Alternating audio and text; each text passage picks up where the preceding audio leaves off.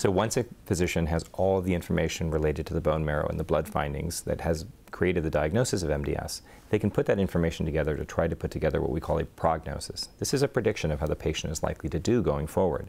So the information that goes into that, for example, are things like the number of blasts in the bone marrow, whether there are specific chromosomal abnormalities, and in some cases where a physician might have done gene sequencing, whether there are particular mutations that have to do with that patient's MDS.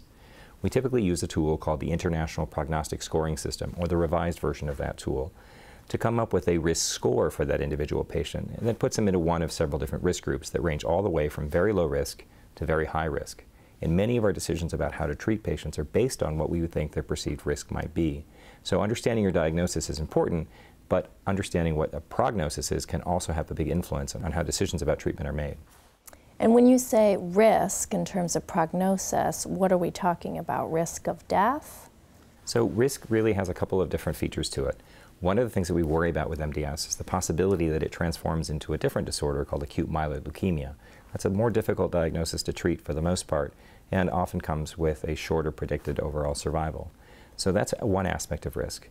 When we talk about the risk associated with the IPSSR risk scores, we are talking about the risk of overall survival, the likelihood that a patient lives a certain amount of time with their disease.